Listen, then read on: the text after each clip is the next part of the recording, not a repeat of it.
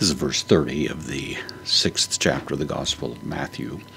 Jesus is giving a generalized warning against worrying about things, and at the moment he's using, by way of illustration, worry about what one might wear. He's uh, observed other uh, areas which could be equally involved in worry, but right at the moment he's extending uh, this conversation, uh, indicating that we should consider how God clothes the lilies of the field, as uh, he puts it here, and then continuing that we have a means if used with the indicative, so it uh, usually implies if, assuming the truth of the thing that's being suggested here. So if, but if, tone, kortone.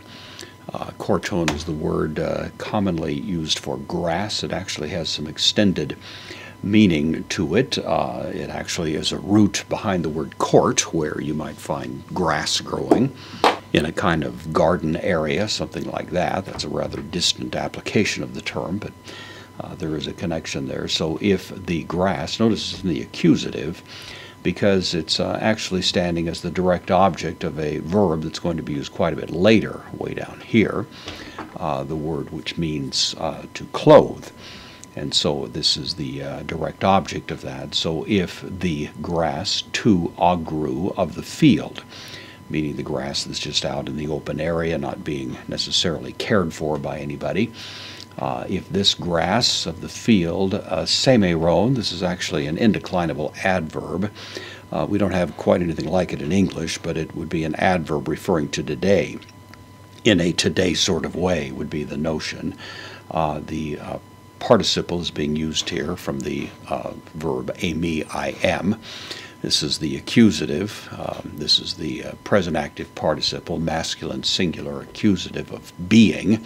And so being today, uh, today in a, a, to daily, if I could put it that way, uh, sort of an adverb, an idea. So if the grass of the field being today, uh, kai, and then arion. This is the word, another indeclinable adverb, but refers to tomorrow.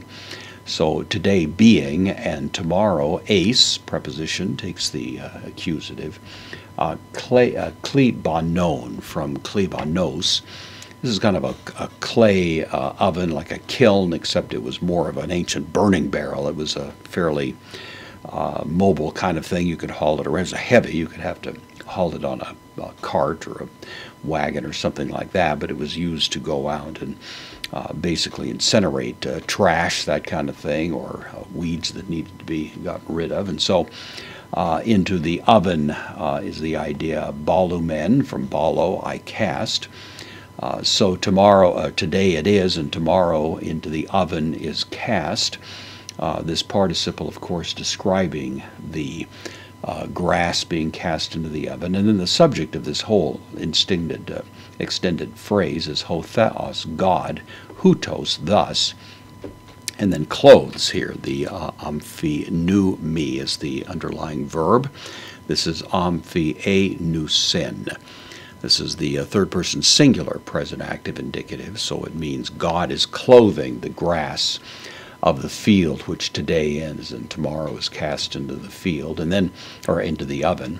And then u, the negation palu, means, uh, means uh, it's an adjective, it means uh, more or much, uh, and then malon, uh, which means more, so much more uh, is the idea, the adjective with the malon, which is a um, adverb. not much more, humas.